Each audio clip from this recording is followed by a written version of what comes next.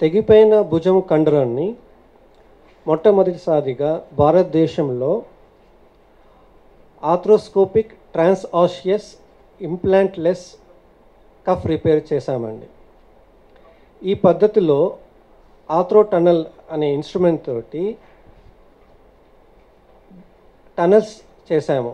దారం పోయేంత టనల్స్ చేసి ఆ టనల్స్లో ఈ థ్రెడ్స్ పాస్ చేసి తెగిపోయిన భుజం కండరాన్ని ఎముకకి కుట్టేస్తాం.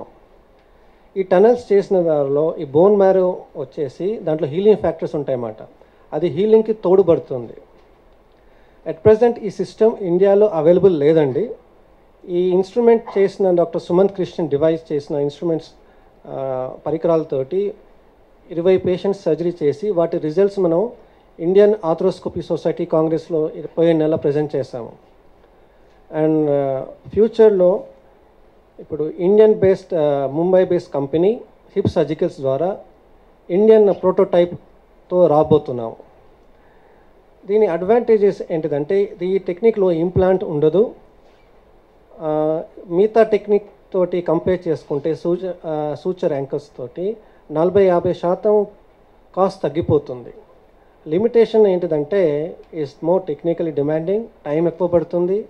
లర్నింగ్ కర్వ్ ఎక్కువ ఉంటుందండి ఎస్పెషలీ ఫర్ న్యూ సర్జన్స్ ఖర్చు maybe it will be around forty five to fifty thousand ఇంకా మీ ఇన్స్ట్రుమెంట్ ఇంకా డివైస్ చేయలేదు. Is in the process of getting instrument so but at present we're charging the implant cost instrumentation we're charging around fifty thousand instrumentation అది ఇంతకుముందు చెప్పాను కదా sports పర్సన్కి normal person అయినా భుజం మసల్ టేర్ అయితే టేర్ వల్ల పెయిన్ వస్తుంటే ఆర్ వీక్నెస్ వచ్చినా ఆ భుజం తెగిపోయిన చెరిగిపోయిన భుజం కండరాన్ని ఎముకకి కొట్టేస్తాం.